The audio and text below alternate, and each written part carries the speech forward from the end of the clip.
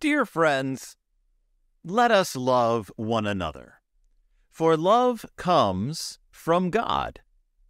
Everyone who loves has been born of God and knows God. Whoever does not love does not know God, because God is love.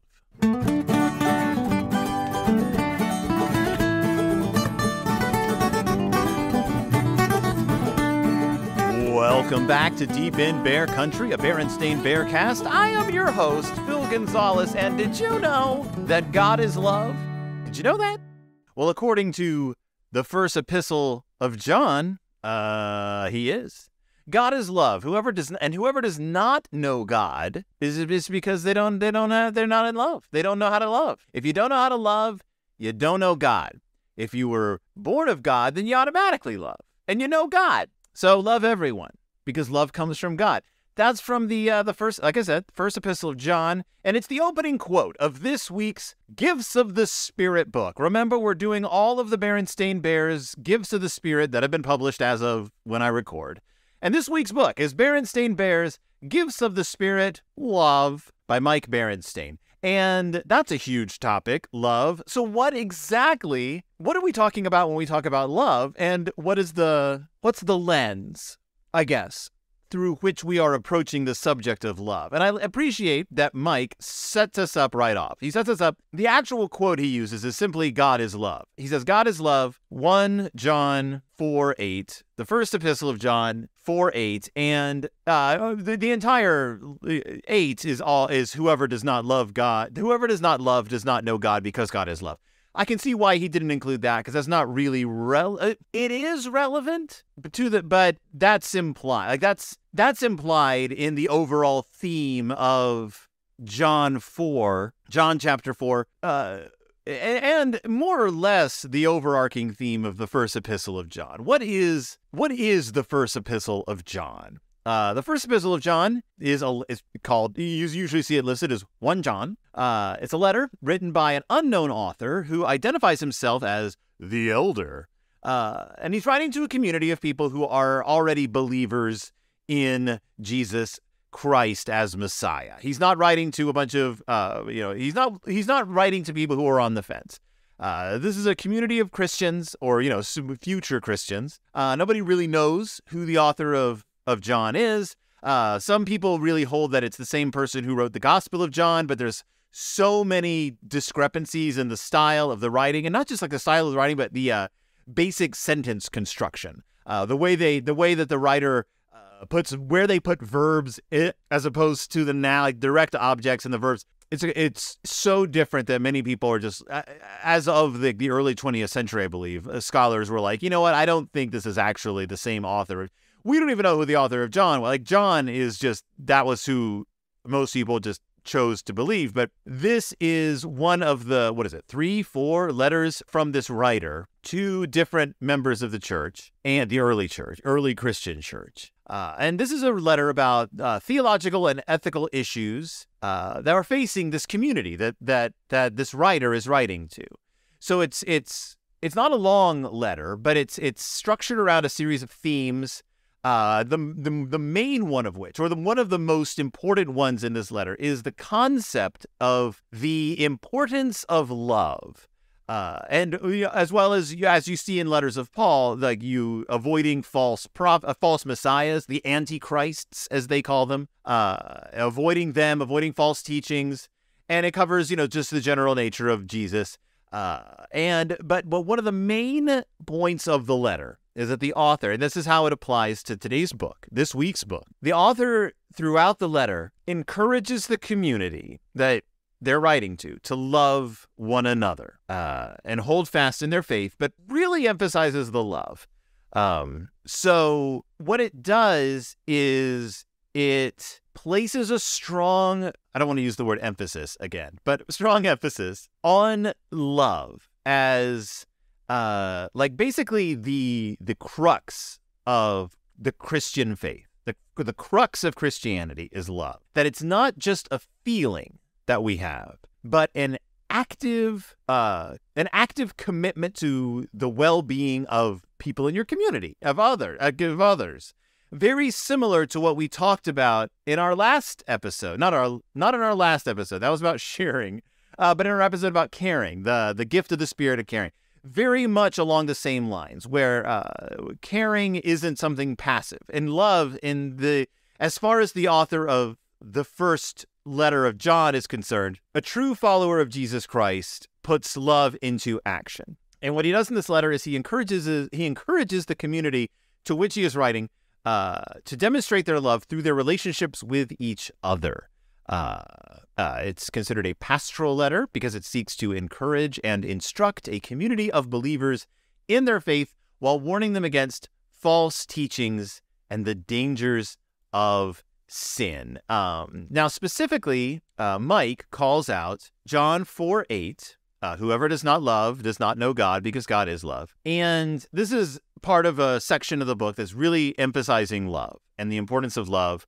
Um, and it's it's important to remember that the people that John was addressing were facing a lot of challenges at the time. And one thing that was happening was there was a lot of arguing in the church about the nature of Jesus, like not just his teachings, but who he was from a, on, a, on a fundamental level. And one of the big arguments and questions. This is pre-Gnosticism, but one of the things the Gnostics would do when they when they broke away from the main church was they took with them the idea that Jesus was pure spirit. He wasn't a human at all. There was nothing uh, physical about him. And many Christians uh, completely disagreed with that. And they claimed that, yes, while he was part spirit, he had to be human at some point. He had to be tangible in order for him to, to actually suffer. And in order for him to be able to honestly relate to human beings. Uh, love from an unknowable entity is different than love from a human being or love from someone who can feel as a human can feel.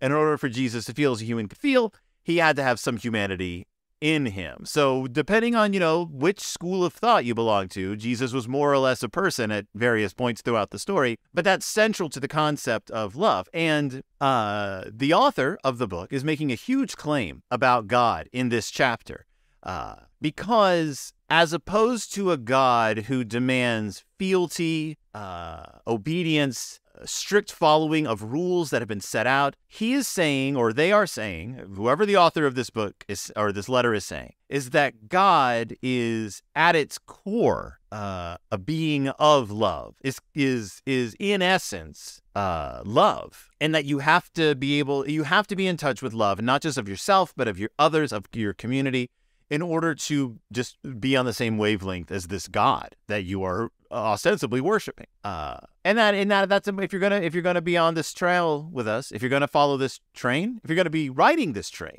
and following this trail, you got to give yourself over to love, uh, deep, abiding love. So it's not just rules, it's not just obligations, it's not just fealty and worship. It's love for for God, but also most importantly for your fellow humans uh, particularly, as we're going to get into in this book, uh, people who are outside of your sphere. Because if there's one thing this letter is not about, it's not about evangelizing. It's not about bringing people over to the faith. It's simply about, this part is simply about love. And what is love, if not the greatest, perhaps, gift of the Spirit? So, what's happening in Bear Country? What is happening in our town? Uh, well, we got this family. Don't know if you've heard of them. It's a family of bears, and there's five of them. There's a mother, a father, a sister, and a brother, and a baby, or a toddler, or like a pre a pre kindergartner. I don't know how old she is right now. Their names are Mama, Papa, Sister, Brother. They appreciate each other, and they live in a split level tree. And they've got a little sister named Honey Bear. And you know what? The, you know what? Above all else, you know what's a a common thread through every single Berenstain Bears iteration, through every continuity, through every timeline through every geological or geographical, sorry, alteration in the fundamental baseline uh, canon of the Berenstain Bears, the one thing that holds true through all these is that these bears, this family of bear, they kind of love each other. They kind of love each other. They look after each other, as it says. They care for each other. They love one another. But they don't just love each other. They don't just love each other in the house. They also love their family, like Grizzly Gramps and Grizzly Gran. They go and visit them. They say, hey, do you know who else they love? Huh? Maybe Lizzie Bruin and her family. There's Lizzie. There's Barry. There's the parents. But especially, okay, we got cousin Fred, huh? Aunt Min, Uncle Ned and a new baby in their family, baby Teddy. Baby Teddy's back, everyone. Little baby Teddy. They love them. They love their friends. They love their family members. And you know what? They love a lot of people in their community, even the people who maybe they don't get along with. The, the say the Tootalls, for instance, the other grizzlies out there. Maybe there's some old animosity, but animosity is not the same as not loving. You can not like someone and still love them.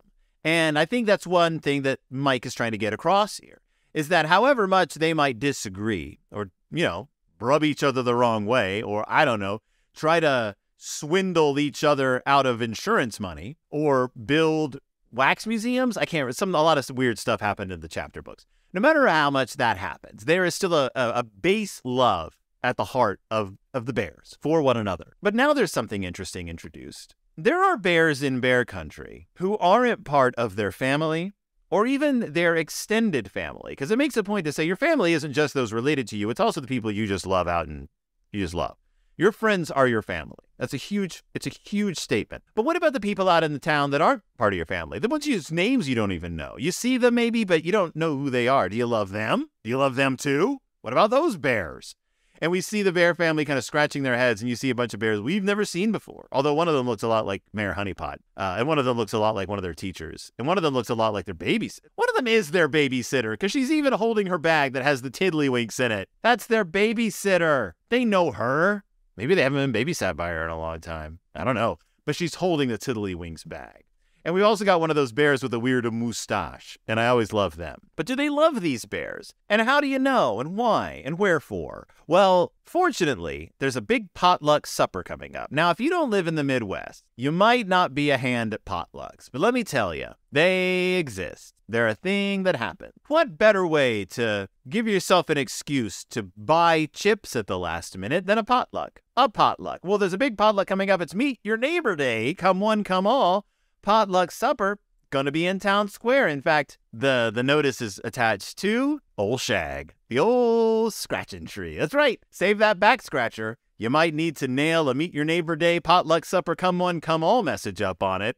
Uh, there's no fence around it, and there's no bench. So again, different timeline. I also want to point out that town halls built in a like old Roman style or like classical Greek style with your Doric columns, but the columns are made out of wood, and the wood is has like like sawn off branches sticking out. Like the town hall itself looks like like white the white classical architecture from like the like Washington D.C. when they were building all the monuments but they've left the, the columns looking like raw wood and the stairs certainly not level uh, with each other. An architectural nightmare, I guess, is what I'm saying. Town Hall is. Uh, but lo and behold, it is time for the potluck. And Mama and Papa, and it says Mama and Papa and the Cubs prepare their favorite dish. I'm going to go out on a limb and guess that maybe just Mama did it. Uh, honey baked salmon, fresh, fresh off the honey. I don't, I was, I don't know what I was going to say there. Fresh off the something. Uh, they grab their honey baked salmon which when you when you look at it, it's just I don't know how to put this delicately, but this just looks like a dead fish on a plate. Like it's even kind of smiling. It's still got its face. Doesn't look like it's been dressed or prepared in any way. It's just a dead fish. It's not even white. It's just it's still got the color of its scales on it. Mama just took a dead fish, wrapped it in plastic, and is bringing it to a potluck. Well, in any case, uh, there's Lizzie Bruin and her family. Uh, there's Too Tall and Too Ton. I don't see Too Too, but I do see Too. What's the mama's name? Too much? Too tired? Too too loud? I don't remember what the mama's name is. But uh, the Grizzlies are there. A bunch of other bears are there. Everyone's there. What does this have to do with love? We see Farmer and Mrs. Ben. We see Preacher Brown, Mrs. Brown, and their. It just says their grown up daughter and son. And I'm like, I don't know why they didn't give them names. I don't know why Mike was like, we're not going to, we don't need to name the grown up. I want to know Preacher Brown and Mrs. Brown's grown up daughter and son's name. Uh, it's funny how he's drawn them. He's drawn, you can tell that Mike put some thought into this. Like, how do I draw someone? How do I draw two bears who are supposed to read as, like, I guess, roughly the age of Gloria and Michael in the first season of All in the Family. Like, I assume that that's kind of the age they're supposed, like, just out of college, young 20 somethings. Like, he's like, I've got to draw bears who don't just look like every other bear because these bears are supposed to be from a different generation, but not they're not cubs. Uh, and you can see he put effort into it because they look a little different. Their hair, the looks on their faces, their clothes. It's funny. Uh, I wish they had names. Alberta and Miguel is how I'm naming them. Uh, welcome, Alberta. Welcome, Miguel. They've brought some food. Everyone's here. Blessed day. But wait a minute. They're strangers in their midst. They're strangers here. Bears they've never even seen before. Uh, they see uh, new folks that talk and dress differently. The food they had brought was different too. And I'm gonna okay. Mike has done so, well. Let's let's read on because I, I want to get to who these bears are first. Uh, Mama and Papa explained to the cubs these are new neighbors who've just moved to bear country. They used to live far away, but they needed to find new homes. They traveled here from all around the world. So, what we're looking at, they needed to find new homes. I am assuming, the word is never used, but I am assuming that these bears in their midst are meant to represent refugees of some sort. These are bears who have left their homes because it was most likely not safe to be there anymore and, and have settled in bear country have settled for bear country have have have, have been uh, moved to bear country through some kind of government program. Uh, this is a situation that I'm very familiar with because I live in Minneapolis, which has uh, huge refugee populations. Um, we have we have a large Hmong population, we have a large Somali population, we have a lot of a lot of refugees who've come from different parts of the globe, uh, settled in, uh, and we have witnessed firsthand the difficulties that can arise when you are attempting to help new neighbors integrate into a neighborhood, into a into a community uh, in which they are not familiar with the way things, the things that most of the people in the community take for granted. I guess uh, there can be some culture shock there, and there can be some conflict be- th- around that, as communications might be difficult, as just cultural norms are so different. Uh, but it's important to welcome them in, however difficult it might be. Because if it's difficult for you, imagine how difficult it is for the people who are arriving from another country and another culture and another who knows what. Uh, we don't really address that here it doesn't get that because we're almost done with the book. And we've just introduced a whole bunch of refugees. Where are these refugees from? Uh,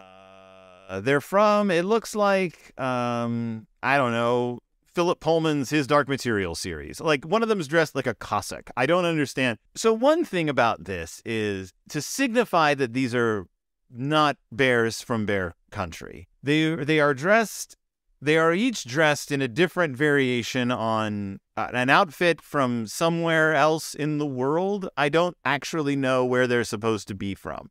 Uh, one guy has like a a, a a weird, a wild, long, like Salvador Dali esque mustache. He's wearing a a poofy hat. He's got like a, a purple tunic on and loose blue pants. I don't know where he's supposed to be from. There's uh, one couple. The woman has like a blue shawl and a yellow cap, like a peaked cap on her head. She has earrings in her ears, and her husband is wearing brown pants and some kind of like earthy colored, like flowy poet shirt. There's a couple. The woman is wearing a like a not the same kind of like a shawl, a long draped shawl around her shoulder. She has solid earrings, a headband, and a green dress. And she has a husband, I presume, who's wearing just like a, a yellow shirt and jeans. And they have a couple of kids the girl is wearing some kind of dress. Uh, there's another couple who are both wearing matching out all they're all wearing matching outfits, like the straight down the front shirt or tunic or something that closes in front but no collar and they both have they all have headbands on except for the older girl. Uh, and then uh, finally there's a woman and her daughter who have like head scarves but not like not like uh like not like religious headscarves but like babushka headscarves and she's wearing an apron and a skirt and the daughter is wearing a skirt and a like a babushka headscarf and the father is wearing uh another like sort of tunicky thing with a belt and red pants and holding a baby who's all swat i have no idea where these people are from they look to be from like made up made up country like made up landia i don't know where it's from who knows? They don't call it out. Maybe in a future book they get a little more fleshed out. I guess because it's not really important. That's not what the book is about, where they're from. The idea is that they are not from here. Now, I'm going to put on my little soapbox for a second, if you're not specifying where the bears are from, they didn't necessarily have to be dressed up like Epcot employees. Like these don't, they didn't have to look, they didn't have to look like they just stepped off, like they just wandered onto Ellis Island. Like they didn't, they've uh, clearly been through some kind of process. Uh, uh, I mean, I mean, it's not like they can't wear, I don't even know how to say it, like cultural garb I don't know what the proper term for this is. Uh, but they they could also just be wearing t-shirts and jeans. Like they don't they could they, they I don't know. It's funny. It's interesting. Uh, it reminds me of that whole like the the whole like traditional garb. Like what's the traditional garb of your culture?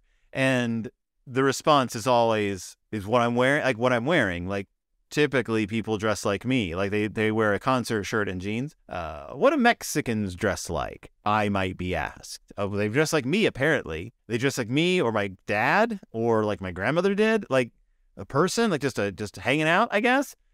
Oh uh, no no no! We mean in in Mexico, uh, kind of just like me. Like if you go to Mexico, you're just gonna see people dressed like just people. Oh well, you know, traditionally, what do they dress? Oh, you mean like like 150 years ago? Like I guess that was traditional. That what does traditional mean? Like how far back is? Because not my traditions. And I think that's what we got here. We got some traditional garb. I mean, you could dress like a Cossack if you want, I guess. But this guy, I mean, he looks like he's ready to. He's he's like at the bar in Anatevka, and he's ready to like begrudgingly make friends with Tevye and Lazar Wolf. Like he's he's full on. Again, I don't know what country he's supposed to be from. Uh, but these new bears introduce them, or the cubs introduce themselves to their new neighbors and sample their new interesting food. Now it's weird. I don't know what it is either. It looks like pinwheel party pleasers, like little ham rolls. Could be anything. Uh, could be mushroom stumps. I don't know what these are. They're cylinders with little spirals in the middle. Some kind of roll up. Uh, I mean, it could also be supposed to be like baklava or something. I have no idea. In any case, the kids love it. Uh, and before you know it, all the cubs of different backgrounds and cultures are rolling around on the ground with each other. Uh, even though some look like they're dressed from biblical times, uh, they, they all get along. Who knows? Uh, some of them are wearing vests. I guess some may be newsies, or uh, maybe they are the escaped Romanov family. I have no idea. Uh, but everyone's thrilled to see the kids rolling around and playing. Next thing you know, they're all sitting around eating. Papa's trying what looks to be some kind of a chimichanga. There's some sort of scalloped dumplings, which look absolutely delicious, some pot sticker kind of thing. We got some kind of cookies. It's really hard to tell. The, the, this is not the best drawn Berenstain food in the world, but I want to I want to call attention to something that's happening. It says the Cubs' parents got involved too, or together too. They talked and ate and drank and learned about each other. It was fascinating to find out how folks lived all around the world. But if you look at Preacher Brown, he's talking to a woman in a headscarf, and he's holding a plate, and he's got his finger up to his face, and that like ah, very interesting. Like look, his arms are kind of crossed, and the, the the hand that's not on his temple is holding the plate off to the side, and it had five of those scalloped pastries on it but he's tilting it, and three of them are falling to the ground, and the other two are going to slide off onto the ground as well. Now, I'm assuming that what it's meant to be implying is that he's so engrossed in what she's saying, he doesn't even realize he's dropping all this delicious food. What it looks like to me is he's secretly trying to dump this food he doesn't want to eat onto the ground. It looks very disrespectful in the context of this book, which is we're just meeting and now I'm dumping this food you made on the ground. I'm the preacher. I don't accept your presence. It's kind of what it looks like. I know it's not supposed to be that. It's just a weird thing to include, especially because it's Preacher Brown who's doing it, a bear that we're kind of iffy on anyway. Uh, in any case, the bear family's time to leave. Everyone bids them farewell, which is really weird because, like, if you're at like a, a neighborhood gathering and you leave before everyone else does, like, people don't all stop what they're doing and wave goodbye. Like, they're just like, I oh, see it. Like, it doesn't. We're gonna see you again. I don't know. It's weird. They're, everyone at the party is wishing the bear family bon voyage. The cubs have their tongues sticking out of their mouths. And look, downright sinister. Okay, they've got Stanley Kubrick brows going on at the at the reader. Their tongues are stuck out. They look like they look malevolent. Uh, and it says, uh, "I guess all bears are pretty much alike under the fur," said Papa as they headed home, and the family agrees. I mean, because they're full of food, and that's what it says. Like they're full of food. We, what we've got here is another Berenstain Bears book that's like, we can all learn to get along as long as we like each other's cooking, right? I mean, right? That might be a little unfair. I, I don't mean to to to make total fun, but it does kind of seem like that at times. Like I don't know. Uh, this is a Berenstain Bears Gifts of the Spirit book. It's about love, And you know, Mike's Mike is Christian, and so these books are inherently and always going to be Christian books. Um, but having refugees arrive, particularly refugees who seem to be from different cultural backgrounds, and I'm going to assume the headscarves are some sort of like implicate sort of visual shorthand for maybe religious backgrounds as well. Actually, position these books very well to emphasize a message, again, as they did with caring and as they did with sharing, beyond where we tended to go with the old Living Light series. Um, so again, John is about this, you know, uh, talking about following the teachings of Jesus, not just in what he says, but in what he does sharing his love. Um, what Mike, I believe, is illustrating here is that the value of love, as talked about in the first epistle of John, love, you know, find love. That's what God is. You and and as we saw in caring, caring is not passive. Caring is an action. Love is an action. Love isn't something you need to feel. It is something you need to do.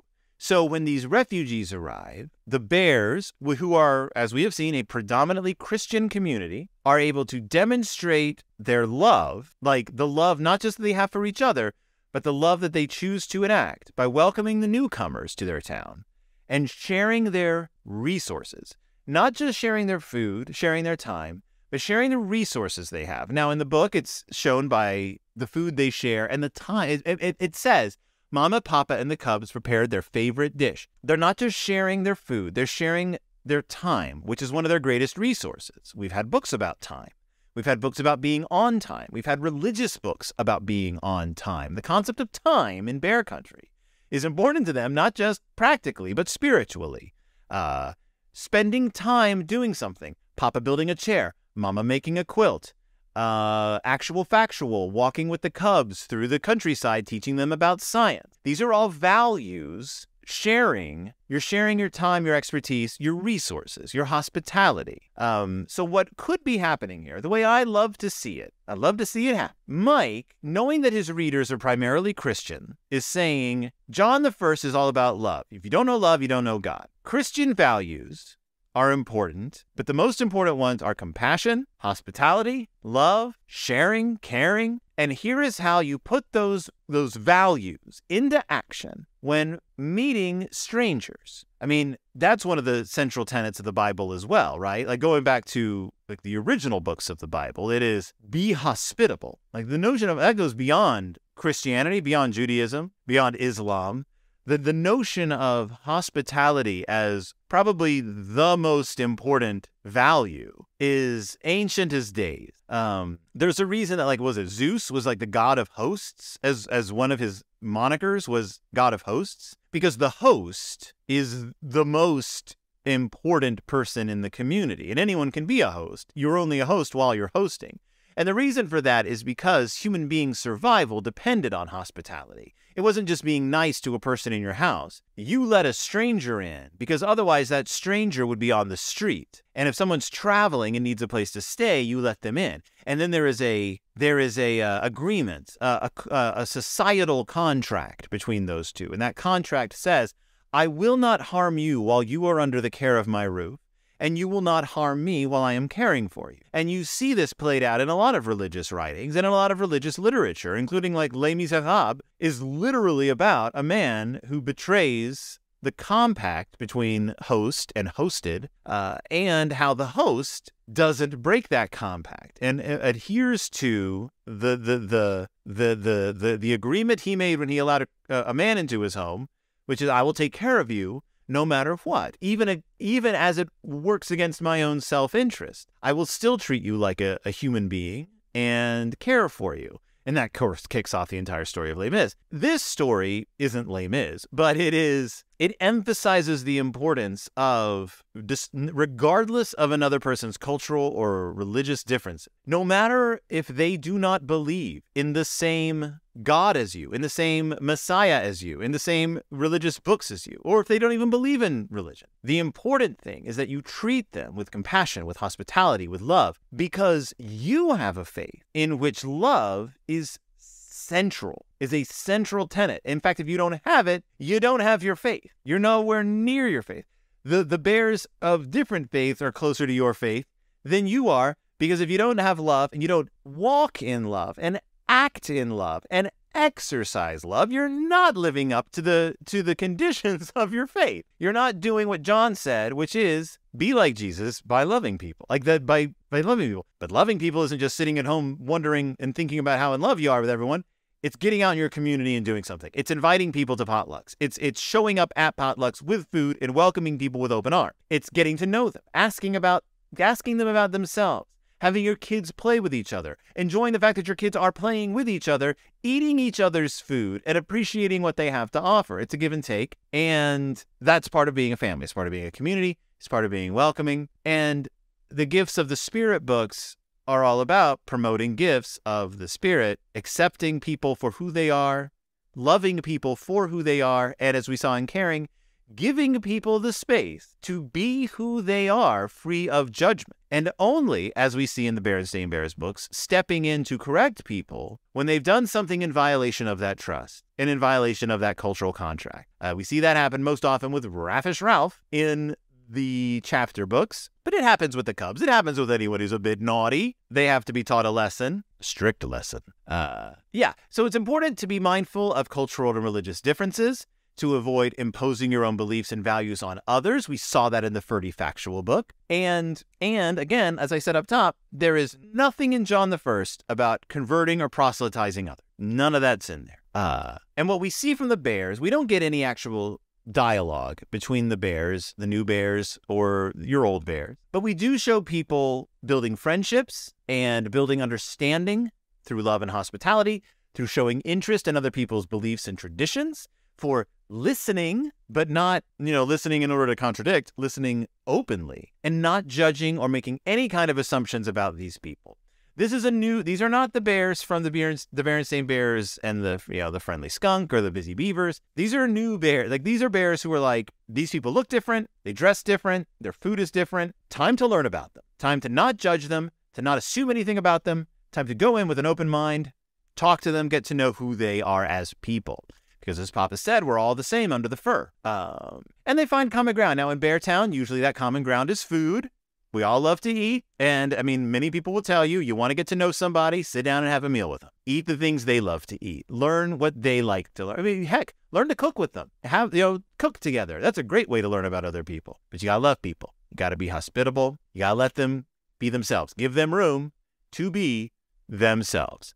Uh, and it says here that the teachings of the first epistle of John can be a helpful guide for building relationships with people of other faiths or beliefs. And by approaching these encounters with a spirit of, say it with me, love, as well as hospitality and respect, believers can create opportunities for dialogue, learning, and growth, even in situations where there are significant differences in beliefs and values. And that is something that Mike has said to me personally on many occasions. At the end of the day, all he wants these books to do, all of his Berenstain Bears books, is help people learn how to approach the members of their community and the people they interact with in life with respect, with love, no matter who they are. Period. These aren't books that are trying to turn you into Christians. These are books who are trying to teach you how to welcome people into your family. And your family is the family of humanity. The family of humanity, sometimes they are bears. That's all I'm saying. And that's it. That is the Berenstain Bears Gifts of the Spirit, love, hopeless love, love unrequited, robs me of my rest. It's Gilbert and Sullivan. I can't remember what play it's from.